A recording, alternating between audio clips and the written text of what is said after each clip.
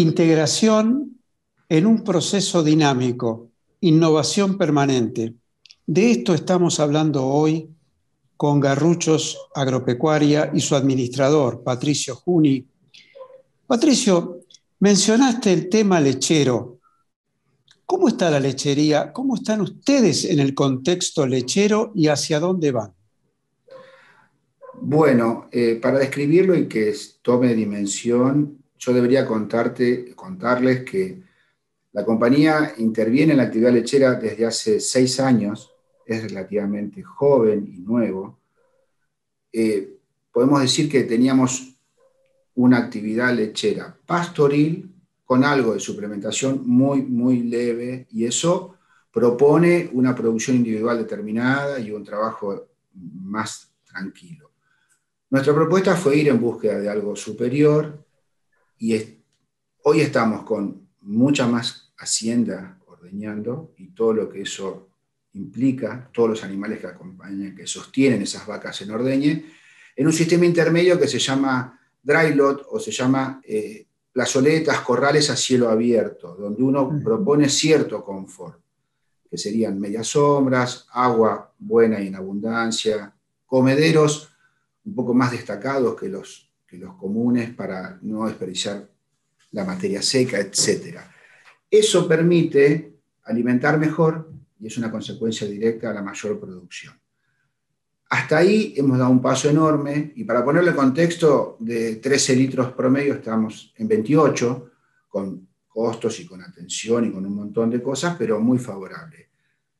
Para responder la pregunta, eh, ¿hacia dónde vamos? Nos hemos eh, propuesto un plan que va a tardar un tiempo de planificación, para lo cual vamos a a recorrer, a tomar ideas, a ver lo que se está haciendo, pero da la sensación que ese es el camino de ir hacia los grandes galpones que brindan un confort a través del tiempo, donde uno logra desde una maternidad hasta las vacas frescas, como se las llama, o las vacas de alta producción, constantemente una cosa sin variaciones para producir más y mejor siento que tengo un director y un, accionista que empujan todo el tiempo la innovación, que terminaríamos pensando en la robotización en la lechería, en vez de las salas de ordeña, los robots. Hay algo que me gusta repetir, que es el tambo es el arte de la no variación. Uno debe lograr todo el tiempo lo mismo. Entonces, esos galpones, esos ventiladores, esas camas, independientemente del sistema que se termine eligiendo, es hacia donde debemos ir para producir mucho. Cuando yo te escucho, Patricio, y vuelvo al comienzo de esta entrevista, eh, pienso también en toda la evolución que ha tenido el campo argentino. Y ustedes están operando con criterio empresario. Están viendo, por supuesto, el presente, son responsables de una actividad fecunda, pero también se proyectan más allá. Nosotros decimos, y ya no es un eslogan, forma parte de nuestra propia filosofía de trabajo, que debemos comunicar del productor al consumidor. Ustedes lo están aplicando. Sí, te diría que sí es, un privilegio que tenemos todos los que trabajamos en Garruchos de tener esa filosofía y tener ese empuje y ese acompañamiento. No quiero dejar atrás eh, todos los cambios que, venimos, que se vienen produciendo y nosotros venimos subiéndonos a ese tren en cuanto a la agricultura.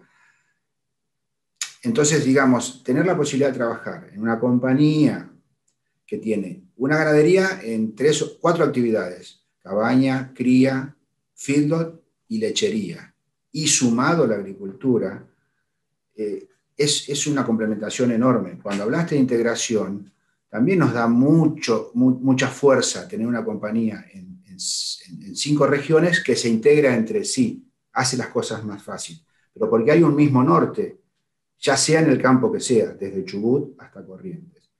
Y en la agricultura como tal, es como muy apasionante así como los animales, la vida del suelo. Y hablar de la vida del suelo ya es otra cosa. O sea, no estamos hablando del maíz, la soja, el trigo.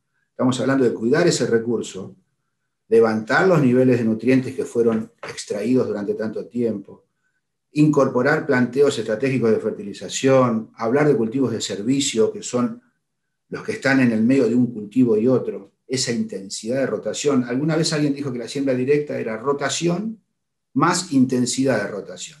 El suelo debe estar ocupado para que tenga vida. Bueno, nosotros tenemos muchos privilegios, y no quiero ser redundante, en trabajar en la agricultura del mismo modo que lo que te conté recién, y a su vez también toda esta inquietud volcarla en la ganadería, porque es un tema cultural. El agricultor copia rápidamente la tecnología y, los cambios. Al ganadero le cuesta más. Por suerte nosotros también no lo queremos perder de vista y también en la ganadería ir por ese camino por un camino que tiene una vía inexorable, un destino inexorable, que es en definitiva alimentar al mundo, asegurarle, mm, por supuesto, alimentos sanos e inocuos y básicamente también promover el desarrollo, la integración. A nuestro regreso, te dejo planteado el interrogante, eh, Patricio, ¿Qué hacen con los recursos humanos? ¿Con quiénes cuentan para llevar adelante esta empresa que tiene un objetivo central? Ser eficientes, ser rentables, pero sobre todo sostenibles.